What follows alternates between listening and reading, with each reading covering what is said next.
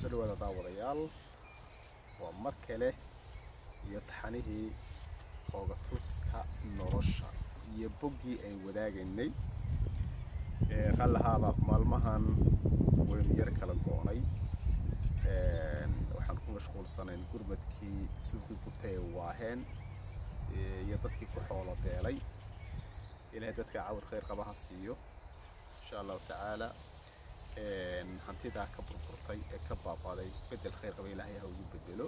Suuqii waaheen ee hargeysa. Dhibaato aad iyo aad u culus buu ahaa oo dad badan damqay runtii aad iyo aadna waan uga naxay runtii anigu. Marka hawshaasaan ku mashquulsanayn qaaraan ururinteedii iyo hawlaheedii. Marka inay suurtogelin inaan boggii ayn wadaagayna ayn wadaagno.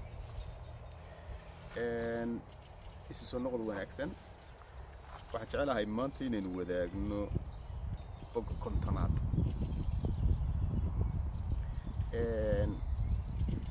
waxaa jira waraysigan aynu beryahanba bogga kulba ka socon waxa la yidhaahdaa hagardaamada nolosha iyo halabsiga waktiga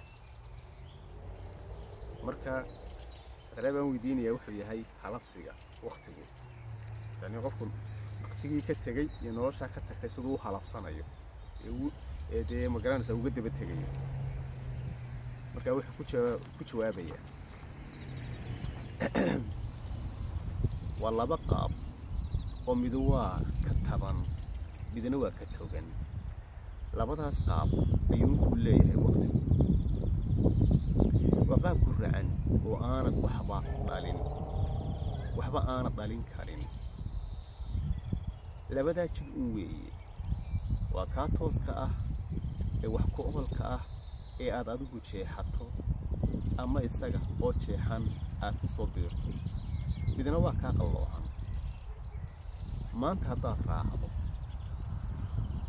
odaygan odaygan kuu sheegay. Odayadu ka soo hadlaya moogtay dee nolosha xilligan. Odaygan kuu sheegay tiisa way kuu dhammaanaysaa. Waa odayaasha dee qabyaaladda iyo ma garanaysaa dee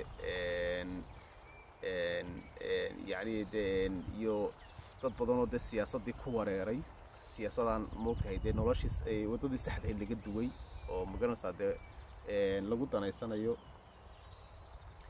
Maanta haddaad raacdo odaygan kuu sheegay tiisa way kuu dhammaatay.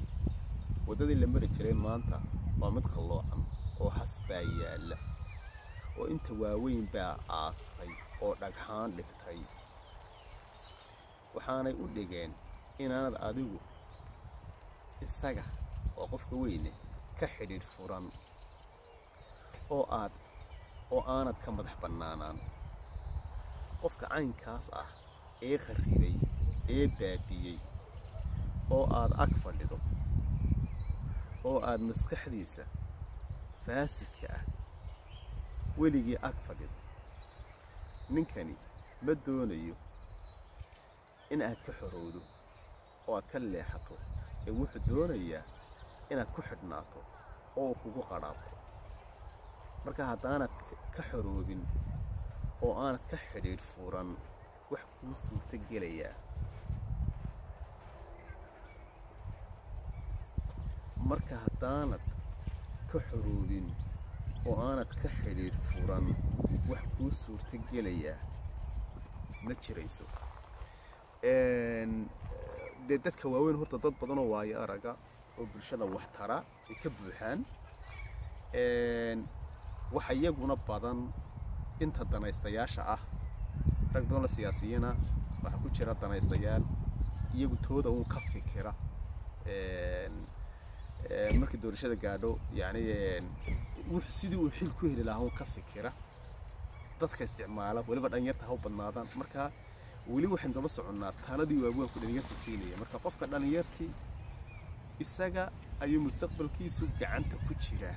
Waa inuu waddo cusub jeexdo. Waa siduu hadraawi dhalinyarta ku boorinayo waddo cusub jeexo maskaxdaada fur indhahaaga fur aayahaaga ka fikir yacni higsi fog yeelo hansare yeelo weeyaan ujeeddadu. Intaas ayaa ku soo gabagabeynayaa boggi aan maanta idinku dalagalay وعبد الشكور محمد مصوصي هي أسرائيل سلامية. السلام عليكم ورحمة الله وبركاته.